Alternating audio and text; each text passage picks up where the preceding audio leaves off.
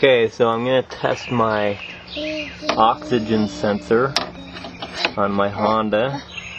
And I have put in a straight pin in the white so that I can put my uh, tester here to it. It reads 46 microvolts without anything being hooked up. I don't know why, but we will see what happens. Okay, now with no the car not started, it's reading about 0.375 volts.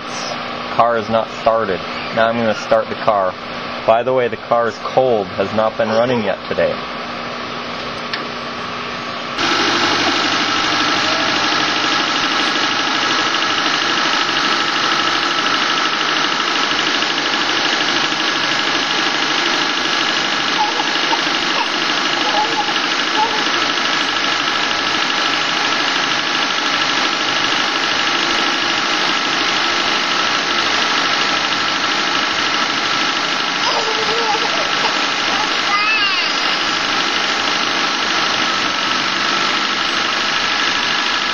no, no, no. no.